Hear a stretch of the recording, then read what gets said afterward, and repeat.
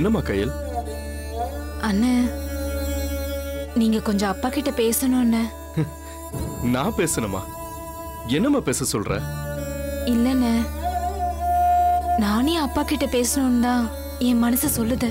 ஆனா பேசுறதுக்கு என்கிட்ட தைரியமும் இல்ல தெம்பும் இல்ல. உடைஞ்சு போய் உருக்குலைஞ்சிருக்கேன் இந்த நேரத்துல நான் என்ன பேசினாலும் அப்பாக்கு தப்பா தான் தெரியும். சரி சொல்லுமா. நானே போய் பேசுறேன்.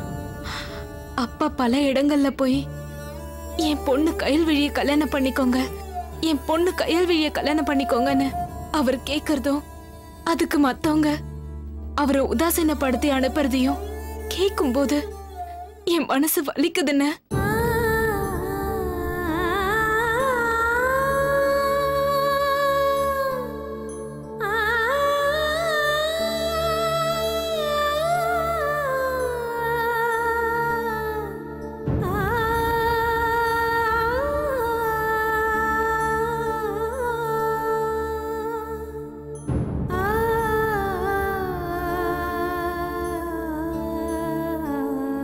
அண்ணே.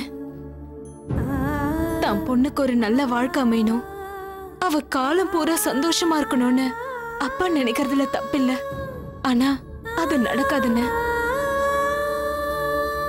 என்னம்மா சொல்ற?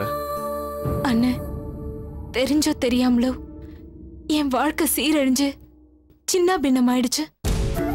இனி அப்பா என்ன போராட்டம் நடத்தி எனக்கு பொது வாழ்க்கை அமைச்சு கொடுக்கலான்னு நினைச்சாலும் அதுக்கு அந்த கடவுளே ஒத்துக்க மாட்டாரு?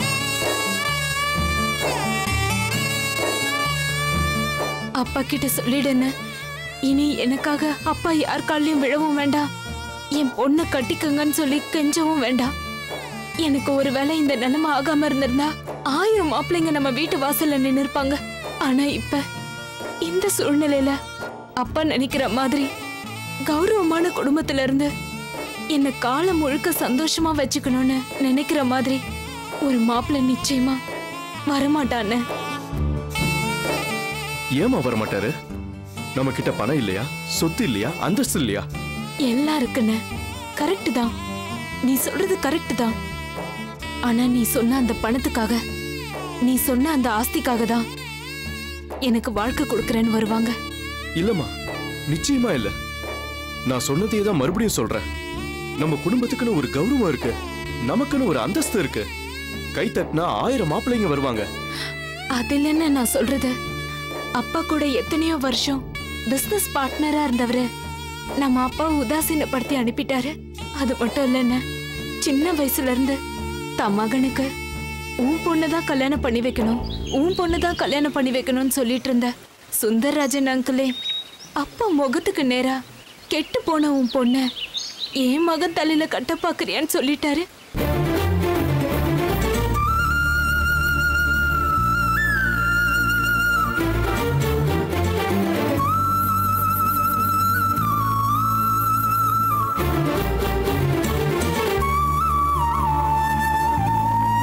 அவ்வளவு ஏன்? பொண்ணு எடுத்தா? சின்னதுரையோட பொண்ணுதான். மருமகளா எடுப்போன்னு சொன்ன எத்தனையோ பேர் இன்னைக்கு கெட்டு போன பொண்ணுன்னு. என்ன குத்தி காட்டும் போது அப்பா மனசு எவ்வளவு வேதனைப்படும் சொல்லுங்க அண்ணன் போதும் போதும். இனி எனக்காக யார் காலையும் விழ வேண்டாம். யார் வீட்டு படியையும் ஏற வேண்டாம்னு அப்பா கிட்ட சொல்லிடுங்க. நான் செஞ்ச தப்புக்கு எனக்கு அந்த கடவுளே தண்டனை கொடுத்துட்டாருன்னு நினைச்சுக்கிறேன். நான் ஆசைப்பட்ட வாழ்க்கை எனக்கு கிடைக்கல. அப்பா ஆசைப்படுற வாழ்க்கை எனக்கு கிடைக்காதுன்னு நான் பாவம் செஞ்சிருக்கேன் நான் பாவம் செஞ்சிருக்கேன்.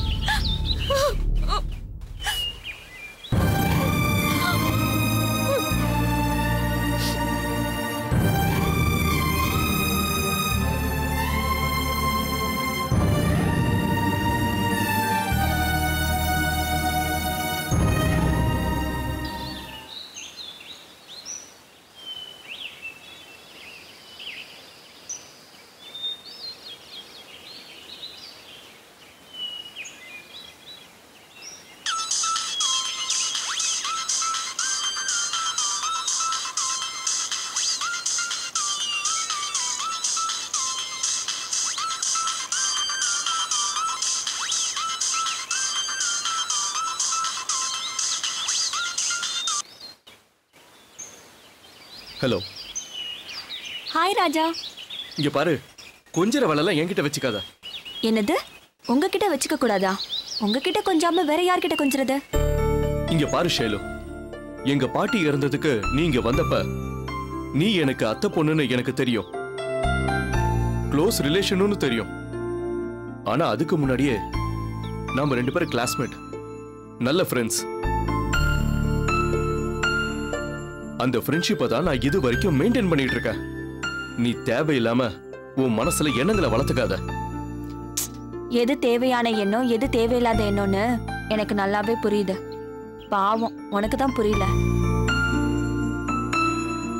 நீ எக்ஸ்பிளைன் பண்ணி நான் எதுவும் புரிஞ்சுக்கிற அளவுக்கு நான் ஒன்றும் முட்டாள் இல்ல. நான் ரொம்ப தெளிவானவன். நீ என்னோட குட் ஃப்ரெண்ட் அவ்வளவுதான். மோர் தென் தட் நத்திங் நீ நத்திங் சொன்னாலும் ஆனா என்ன பொறுத்த வரைக்கும் நீ தான் எனக்கு எவ்ரிதிங் இங்க பாரு. உன்னோட சென்டிமெண்ட்ஸ் ரொமான்ஸ் இதெல்லாம் கேட்கறதுக்கு எனக்கு டைம் இல்ல. உனக்கு வேணா நேரம் இல்லாம இருக்கலாம். ஆனா எனக்கு நேரம் இருக்கு. தயவு செஞ்சு போனை கட் பண்றியா? Hello hello hello hello. போனை கட் பண்ணிடாத. நான் உனக்கு ஒரு குட் நியூஸ் சொல்ல போறேன். நீ ஒரு குட் நியூஸும் சொல்ல தேவையில்ல. இல்ல இல்ல. நான் சொல்லுவேன். சென்னையில இருந்து கிளம்பி நான் உங்க ஊருக்கு வர போறேன். என்னது? நீ எங்க ஊருக்கு வர போறியா ஏன் இப்படி டென்ஷன் ஆகுற? நான் வந்து சேர வேண்டிய ஊருக்கு வந்து வாழ வேண்டிய ஊருக்கு தானே வர போறேன் இது வாழ வைக்கிற ஊர் இல்ல இது சாகடிக்கிற ஊர். நடக்கிற நடந்துகிட்டு இருக்கிற எல்லா விஷயங்களும் தெரிஞ்சுக்கிட்டு இங்க வரங்கிற? இது உனக்கு தேவையில்லாதது. இங்க பாரு நான் வருவேனா வருவேன். ஓகேவா பை பாய் see you. ஏய்! போனை கட் பண்ணிட்டாலே. ச்சே.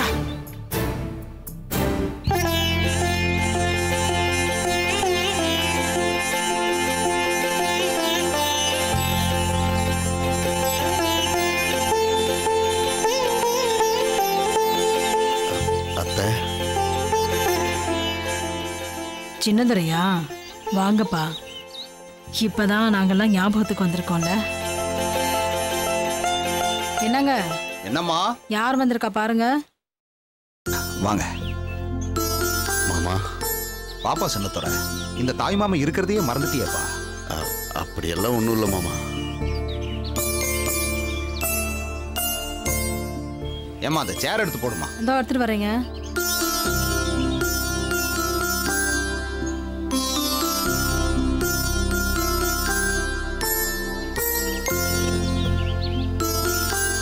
உட்காருப்பா. நீங்க பேசிட்டு இருங்க நான் இதோ வரேன். உங்க அம்மா என் கூட பிறந்த தங்கச்சி. அவ பூவோடையும் பொட்டோடையும் போய் சேர்ந்துட்டா. அவ போனதோட சொந்தமெல்லாம் போயிடுச்சுன்னு நினைச்சிட்டீங்களா? மாமா. என்ன மாமா இப்படியெல்லாம் பேசுறீங்க? பின் என்னப்பா? யாருமே வர்றதே இல்லையேப்பா. அதான் இப்போ வந்திருக்கேன்ல மாமா. ரொம்ப சந்தோஷம்ப்பா நீயாவது வந்தையே. தாய் வீடு. தாய் வீடு. ரொம்ப சந்தோஷம்ப்பா நீயாவது வந்தையே.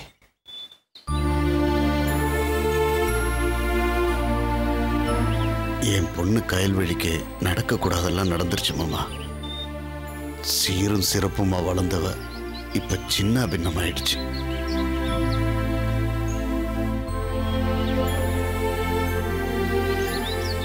எல்லாம் கேள்விப்பட்டேன் சின்னத்துறை இத என்னன்னு விசாரிக்கிறது?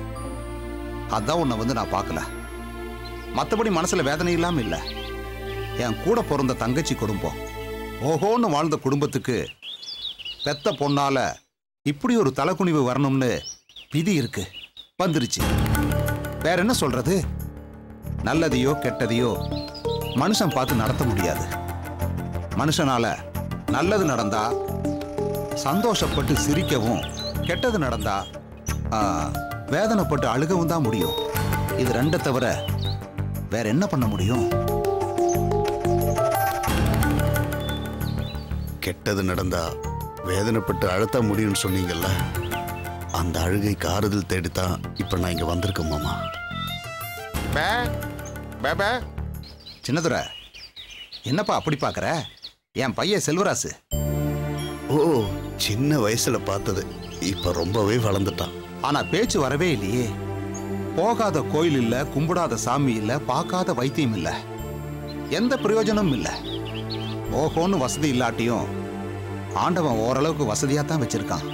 ஆனா எல்லாத்தையும் கொடுத்துட்டு பெத்த மகனோட பேச்ச புடுங்கிட்டானே.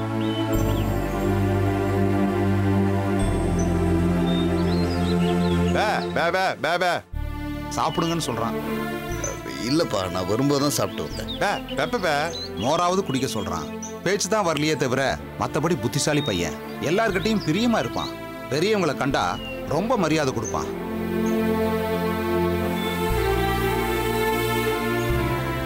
நீங்க என்ன தப்பா நினைக்க கூடாது. என் பொண்ணு கயல்வழிய உங்க மகன் செல்வராஜுக்கு கட்டி வச்சு உங்கள் வீட்டு மருமகளாக ஏற்றுக்கணும் மறுத்து பேசிடாதீங்க மாமா என்னப்பா இதுக்கெல்லாம் கையெடுத்து கும்பிட்டுக்கிட்டு மாமா முடியாதுன்னு சொல்லிடாதீங்க மாமா கையலு நான் தூக்கி விளையாடணும் பொண்ணு அதை கல்யாணம் பண்ணிக்கிட்டு அதோட வாழ்க்கையை கெடுக்கணுமா என்னால முடியாதுங்கிறான் கையல் இந்த வீட்டு மருமகளா வர நான் ரொம்ப கொடுத்து வச்சிருக்கணும் கையல் மட்டும் இல்லை வேற எந்த வீட்டு பொண்ணையும் இந்த வீட்டுக்கு மருமகளா ஆக்கிக்கிற நிலைமையில நான் இல்ல.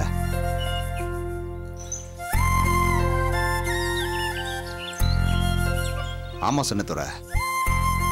இவன் பிறந்து பேச வேண்டிய வயசுல பேசாம இருந்துட்டான். எங்க அடுத்த குழந்தை பிறந்து அதுவும் பேசாம போயிடும்னு அடுத்த குழந்தையே வேண்டாம்னு விட்டுட்டோம்.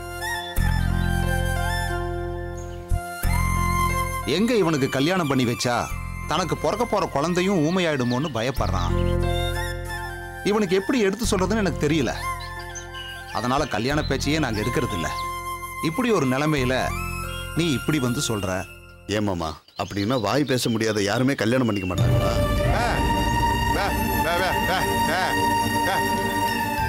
யாராவது எக்கேடாவது கெட்டு போகட்டும். நான் கல்யாணம் பண்ணிக்க மாட்டேன்னு சொல்றான். சின்னதர சாப்பாடு ரெடி ஆச்சுப்பா. சாப்பிட்டு போ இருக்கட்டும் பரவாயில்ல. நான் போயிட்டு வரேன். வரேன் மாமா.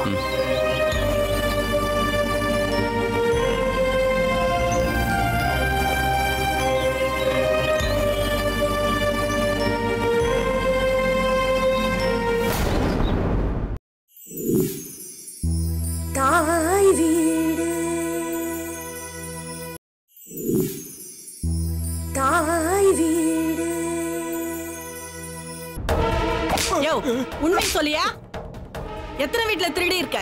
நகை எல்லாம் எங்க வச்சிருக்க? சொல்லியா? ஏமா ஏற்கனவே இதே கேள்வியை தான் ஒரு போலீஸ்காரன் வந்து கேட்டாங்க.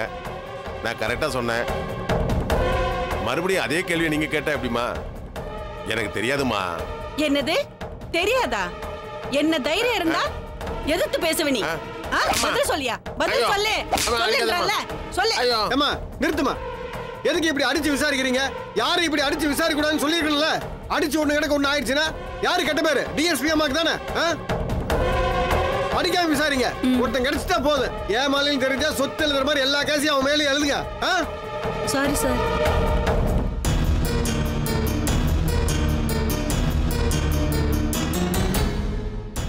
Arumugam. என்ன கலாட்டா? ஆ? ஒண்ணும் இல்லம்மா. ஒரு திருட்டு கேஸ்ல ஒருத்தனை புடிச்சு கொண்டு வந்து அடிச்சிட்டு இருக்காங்க. இதில் ஒரு முக்கியமான விஷயம் என்னன்னா இந்த ஆள் திருடின நகை வந்து கவரிங் நகை. கம்ப்ளைண்ட் கொடுத்த பார்ட்டி கிட்ட போய் விசாரிக்க போனா அவ கொடுத்த அட்ரஸ்ல அப்படி ஒரு ஆளே இல்ல. அதுவும் ஒரு பொய் அட்ரஸ் அப்படியா? இந்த மாதிரி கேஸ் எல்லாம் தெரியாம எதுக்காக ஆளுங்களை கூட்டு வந்து இப்படி அடிச்சிட்டு இருக்கீங்க? இங்க பாருங்க. நீங்க இன்ஸ்பெக்டர் சொல்றத எதையும் கேட்காதீங்க. எந்த விஷயமா இருந்தாலும் என்ன கன்சல்ட் பண்ணிட்டு முடிவெடுங்க. சரியா? சரிங்க மேடம். இனிமே நீங்க சொல்றபடியே செய்யறேன் ஏன் ஆறுமுகம்? கிரைம் ரேட்ஸ் குறையவே மாட்டேங்குதே. இருக்க இருக்க அதிகமாயிட்டே போகுது. உண்மை அது இல்லைங்க மேடம்.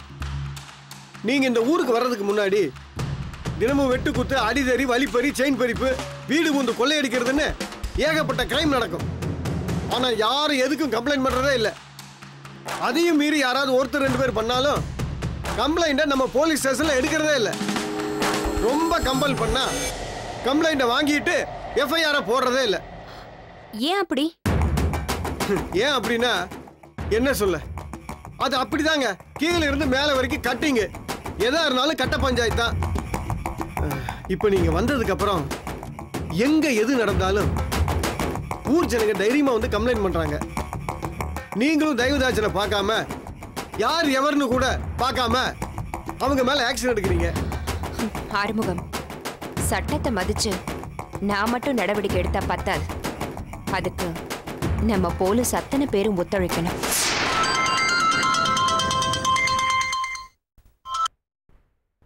துர்கா நான் அம்மா பேசுறேம்மா. தெரியுதுமா சொல்லுங்க. துர்கா ஷைலுவை காணோம்மா. ஷைலுவ காணுமா? ஏம்மா? யாராவது குச்சி மிட்டாய் வாங்கி தரேன்னு அவளை கூட்டிட்டு போயிருப்பாங்க. இல்ல கடலை மிட்டாய் வாங்கி தரேன்னு அவளை கடத்திட்டு போயிருப்பாங்க. துர்கா நான் சீரியஸா பேசிட்டு இருக்கேன். ஏன் என் நிலைமை தெரியாம விளையாடிட்டு இருக்க? பின்ன என்னம்மா? ஃபோன் எடுத்ததும் பொத்தாம் பொதுவா ஷைலுவ காணும்னா என்ன அர்த்தம்?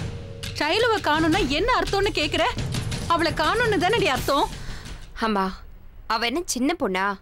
ஏதோ திருவிழால காணாம போன குழந்தை மாதிரி சொல்றீங்க. அது இல்லம்மா. காலையில போனவ இன்னும் வீட்டுக்கு வரவே இல்ல. அவ என்னைக்குமா நேரத்துக்கு வீட்டுக்கு வந்திருக்கா? இன்னைக்கு வர்றதுக்கு? முதல்ல உங்களை மாதிரி என்னைக்காவது அவ வீடு தங்கியிருக்காளா? எப்ப பார்த்தாலும் ஃப்ரெண்ட்ஸ் வீடு பார்ட்டி அந்த ஃபங்க்ஷன் இந்த ஃபங்க்ஷன் ஃப்ரெண்டோட birthday special class weekend celebration அவ ஊர் சுத்திக்கிட்டே இருப்பா. நீங்க அவளுக்கு ஃபோன் பண்ணி பார்க்காம எனக்கு ஃபோன் பண்ணி ஏமா டிஸ்டர்ப் பண்றீங்க?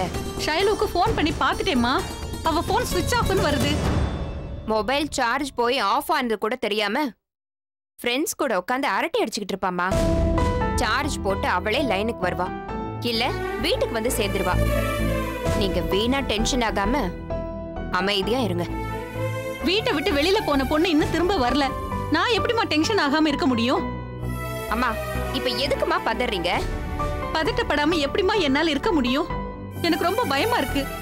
அளவுக்கு மீறி செல்லம் கொடுக்காதீங்கன்னா நீங்களும் கேக்குறதில்ல. அடங்கி ஒடுங்கி இருடின்னு சொன்னாலும் அவளும் கேக்குறதில்ல. ஏதாவது ஒண்ணு சொன்னா உங்க மக அப்படியே பொங்கி எழுந்து வருவா. இப்ப அவஸ்தைப்படுறது யாரு? அதெல்லாம் இப்ப பேசுற பேச்சா துர்கா? மா இப்ப என்ன ஆச்சுன்னு நீங்க இப்படி எல்லாம் பேசுறீங்க? ஒண்ணும் ஆகாதுமா. முதல்ல நீங்க தைரியமா இருங்க. அவ எங்கேயாவது சுத்தி அடிச்சுட்டு அம்மா பசிக்குதுன்னு? டின்னருக்கு என்ன பண்ணி வச்சிருக்கீங்கன்னு கேட்டுட்டு உங்க முன்னாடி வந்து நிப்பா. புரியுதுங்களா? தைரியமா இருங்க. நான் வச்சிடுறேன். ம்?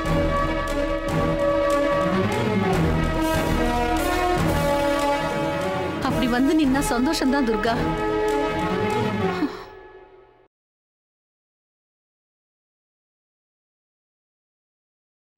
ஆமா. இப்ப நீங்க என்ன சொல்ல வர்றீங்க ஆக்சுவலா நீ வந்து காலாட்டுறத பத்தி நான் ஒன்றும் சொல்ல வரல. அதாவது சூரம். என்னது? சூரமா? அதாவது வேற ஒன்றும் இல்லை. கட்டின புருஷனாச்சே. அதனால வந்து ஸ்வீட்டா சுருக்கி சூரம்னு கூப்பிட்டேன் அவ்வளவுதான். கோச்சுக்காத.